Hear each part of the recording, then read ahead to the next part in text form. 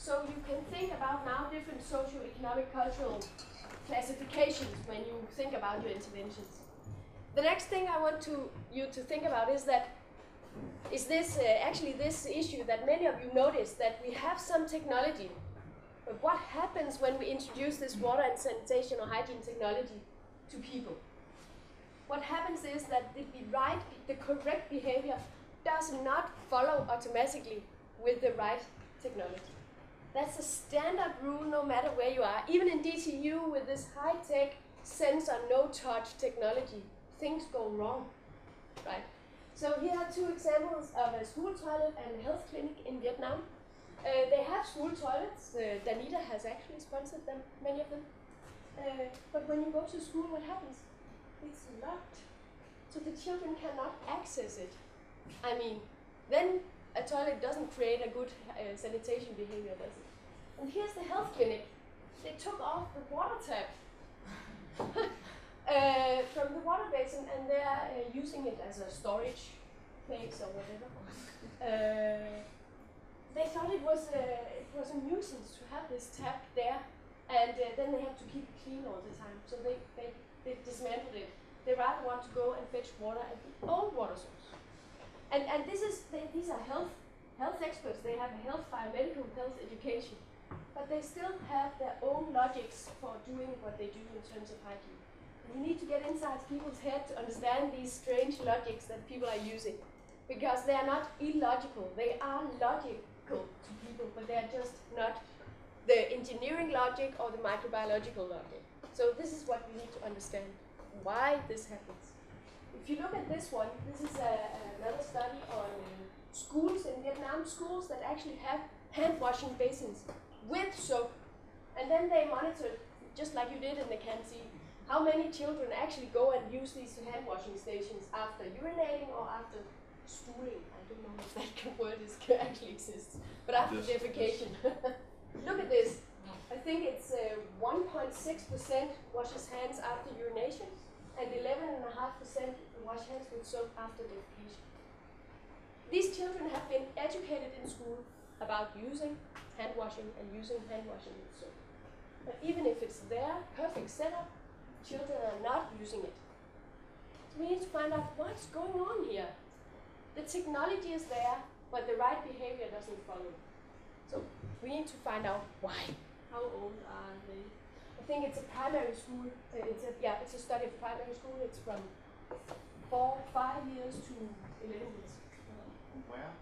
It, it was also in Vietnam in a rural province of Vietnam. Kids can find can, can come up with all kinds of arguments for why they do or why they don't. And we need to find a setup that allows children to wash their hands. And, and there's a lot of, I'll show you later, but there's a lot of experiments going on with children where you try to make hand washing fun. You know, it's a game, it's a play, like a competition. Who can be the cleanest and stuff like that. That works for children, right? It's always good to have games with children. So what is actually influencing hand washing behavior? This is a, a big, big study from, uh, from 11 countries. Data from 11 countries collected here. These are the factors.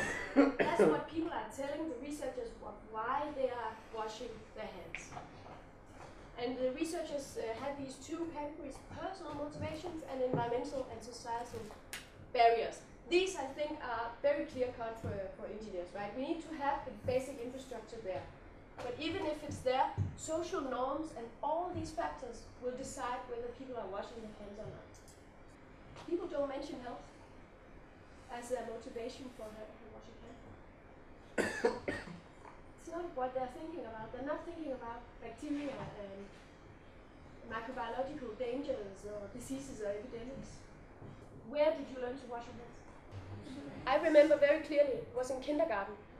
And I had one teacher in kindergarten that taught us all to wash our hands, and I still remember how she did it, how she taught me to wash hands. So it's a habit I had from kindergarten. It was maybe developed later on, and now I'm paranoid about hand washing because I'm doing hygiene research, but I can remember when the habit was started. Most people can actually remember when, when they first learned something, where it was. Yeah. Um, nurture taking care of their families or taking care of their children. That's the reason why they wash hands because it's a good thing to it's taking care, it's uh, supporting. So So there's lots of lots of people who say that if you wash your hands, it's a kind of a proper thing to do. You're a proper clean person, right? So it gives you some status. You're showing that you're you're a, proper person. You're taking care of yourself, and you're showing I'm not I'm not lazy about my appearance. I'm taking care of how I what what I look like, right?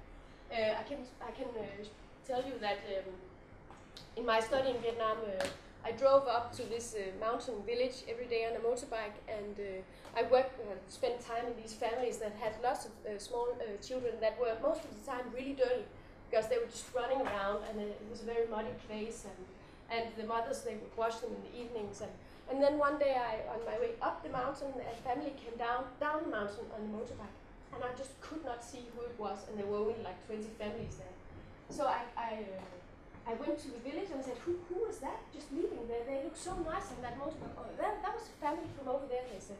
And then uh, half an hour later they came back. And it was this family that I spent weeks and weeks with and I couldn't recognize them because they were all shining clean and uh, the, the children were so nice, you know, really nice hair, great dresses and everything. And I asked them, why, why did you go to something special? We went to the doctors. And you know, if we want to get a proper treatment and be treated well by the doctor, we have to look nice and clean. This gives them a, a better status in the eyes of the doctor. They know that, these people. So they clean up real nicely when they go to the, to the doctors. I thought it was really clever of them, right? They can actually manage these actually they can uh, they can uh, they can kind of impress the doctors. I think that's really nice. The doctors would, would yell at them and treat them very badly and, and uh, patronize them, look down at them. And, and these, these minority parents, they know that if they clean up, they have a better chance of arguing with the doctor and, and uh, having a certain uh, position. It, it gives them. And, and you're right, it's, it's maybe wrong that the doctor is behaving like that, but we are all behaving like that depending on what positions we have in relation to other people. And this status is actually framing a lot of our behavioral patterns.